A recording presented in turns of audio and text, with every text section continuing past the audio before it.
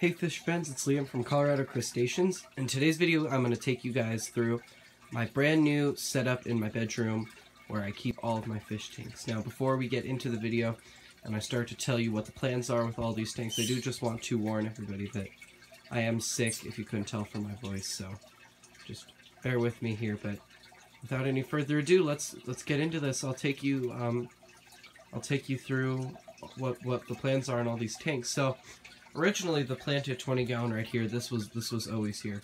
But where this new 10 gallon was as well as this brand new 20 gallon, there was a dresser that was holding a 10 gallon that was in really bad shape. So what I did this summer is I bought this new bookshelf right here to put the 10 on and then I bought this new 20 gallon. Everything in here is new so this tank is still cycling. Uh, nice little stand going on there but Anyway, I'll take you guys now that you just kind of figure out what the transition looked like in here. I'll go ahead and take you guys through the plans for all three of these tanks, what the stocking is like, um, and yeah, future plans. So first off, we're going to start with the planted 20 gallon, which we visited before, but last time I showed this tank on YouTube. This plant right back here, and this one back here weren't in here. They were originally in this tank, but I decided to move them. So the stockings also changed a little bit in this tank. Really the only thing that's changed is I got a pair of Gardneri killifish. This is the male. I don't know where the female is. But the stocking in this tank, we have seven Sawbwa barbs. You can see there are two right there. The two males right there have the orange noses, and then the females are just gray. Three peacock gudgeons. There's shoot. There's a female right there five Celestial Pearl Danios. There you can see there's a couple right there. Two Gobies. You can see there's one back there. I don't know where the female is, but it's a male-female pair. Uh, I think there's two otocinclus in here. There's supposed to be, but I haven't seen either of them in a very long time, so who knows. Uh, as for future stocking in this tank, I mean, really, um, I'm not sure. Maybe I'll get another schooler fish or two, like like four or five. a few more schooler fish, but I don't know. But I'm definitely to get a pom-pom crab, freshwater pom-pom crab in here relatively soon. I don't know how soon that is. I'm hoping that my local fish store will get some in, but if not, then I'll just buy them online. Uh, yeah, but this tank right now is doing really well.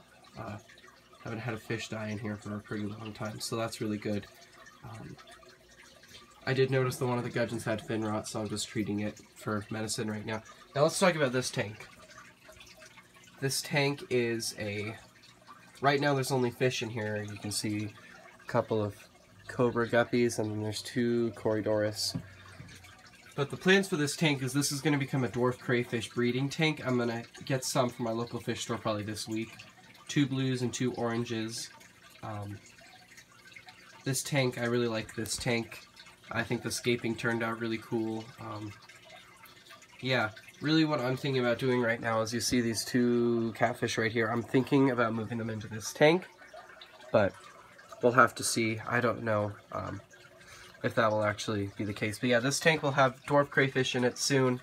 Um, I'll keep you guys updated on my Instagram. If you're just watching me on YouTube, then make sure to follow my Instagram. Um, I post a lot more often on Instagram than I do on YouTube. Alright. Final tank. We got this 20 gallon here. The wood still isn't waterlogged yet, but this tank escaped with lava rock, as you can see, and Asian driftwood. Um, what are the plans for this tank? Well, the plans for this tank, uh, there's only going to be one species in here, my first ever video, you might recall, I had purple I had purple Matano crab. That's probably what's going to be going in this tank. Definitely a crab from Lake Matano. I'm not sure what species though.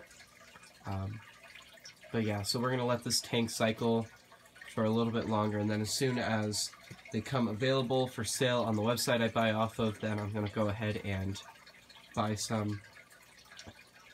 Yeah, that's the plan with this tank. I'm only going to buy one because they fight with each other.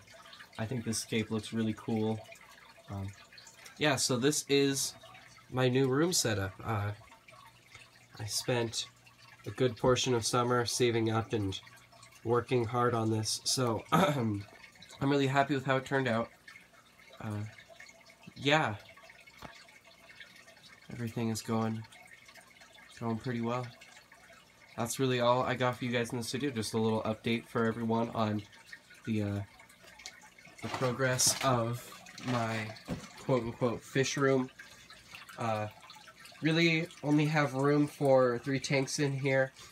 I've thought about potentially putting five gallons on the second shelves of these 20 gallon fish stands, fish tank stands, but I don't know about that. Yeah, so this video didn't really have any structure or anything like that. I just kind of thought it'd be cool to just kind of share with people what's going on.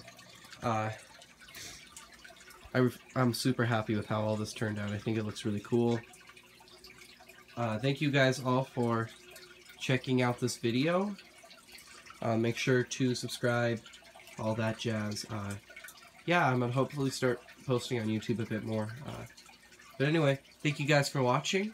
My name is Liam. Uh, make sure to follow me on Instagram and subscribe here so you don't miss another video. Thanks for watching, guys. I'll see you in the next one. Bye.